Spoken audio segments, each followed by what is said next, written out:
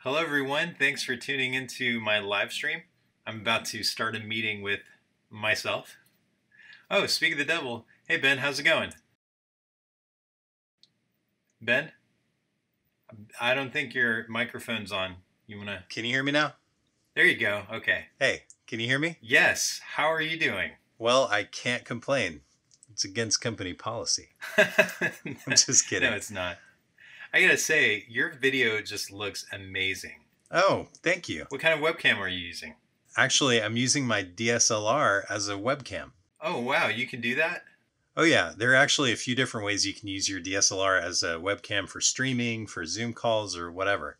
Why don't you kick off the intro and I'll show you how it's done. Okay, cool. Ready? Let's get in. Ben? Hey, Ben? I guess I'll do it. Let's get into it.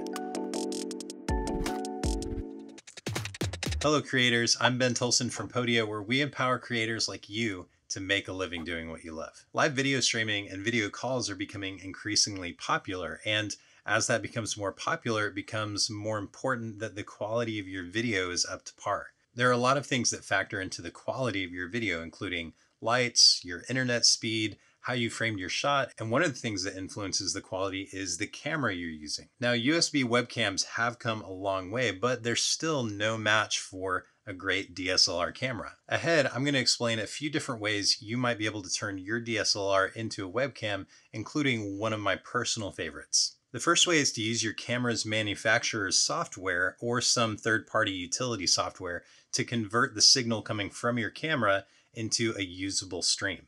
Recently, some companies like Canon or Nikon have actually created webcam utilities that can be used with specific models in their lineup. For example, Canon has a beta webcam utility that you can download directly from their site. Once you install it on your computer, you can connect your camera through USB, and certain programs will be able to recognize that camera as a video device. There are also some third party utility apps that you might be able to use with your camera depending on compatibility. What I've found with a lot of these utilities is even though they do add some functionality, they still are a little bit clunky and slow compared to some of the other options available, which we'll get into now. A second way you can turn your DSLR into a webcam is by installing an internal capture card into your computer. Oh. An internal capture card is a device that's installed into your computer that allows your computer to read HDMI or SDI video signals.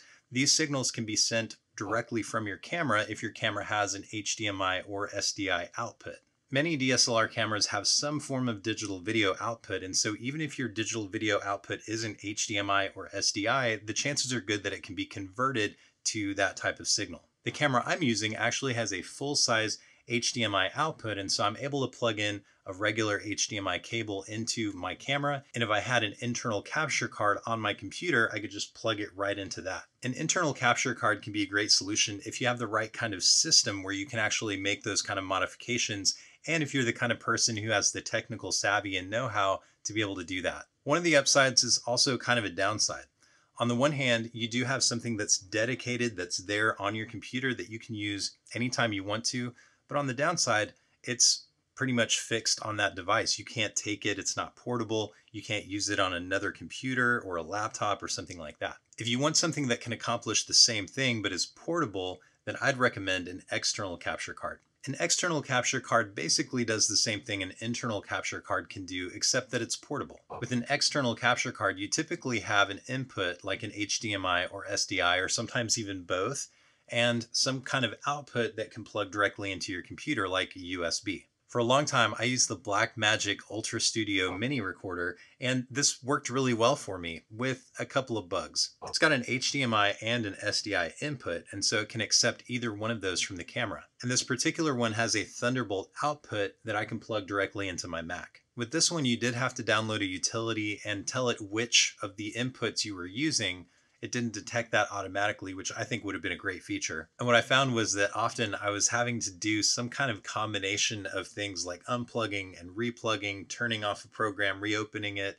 turning off my computer, doing a little bit of a dance, and then it would work. And when it worked, it was great. But as much video as I do, I needed something that was really reliable. So recently I switched to using the Elgato Camlink 4K. This thing is awesome. Oh. Now it's got a full-size HDMI input, which works perfectly with my camera because my camera oh. has a full-size HDMI output. And so I run the HDMI from my camera to this, and then I just plug it into the USB port and it's ready to go. I don't have to download any software. I didn't have to install anything. My computer immediately recognized this as a video source. So as soon as I plug this in, I can open up any video program and I can see my camera right there. Now these are a little bit difficult to find right now. I actually purchased mine off of eBay, but it's worth spending the time to look for it. And they're only a little bit more than $100, which for the ease of use and being able to use my DSLR camera in 4K resolution, it's totally worth it. If you're looking for information about how to do live streaming, we've actually made a couple of videos on this channel. One that talks about how to live stream through YouTube and one that talks about how to live stream through OBS. I hope this information was helpful for you. I know I leaned pretty heavily on the Camlink, but honestly, I think right now for practically any DSLR, this is going to be your best bet. It's going to be the easiest way to get beautiful DSLR video quality into your computer recognized as a webcam. So definitely check this out if you can. And I want to hear from you. Are there methods that you've used to stream with your DSLR that I didn't mention in this video or that you highly recommend that you think is even better than the Camlink? Let me know about it in the comments below. If you found this video helpful and you want more content like this, click the subscribe button and hit the notification bell so you'll be sure not to miss any future videos. Thanks for watching, and I'll see you next time.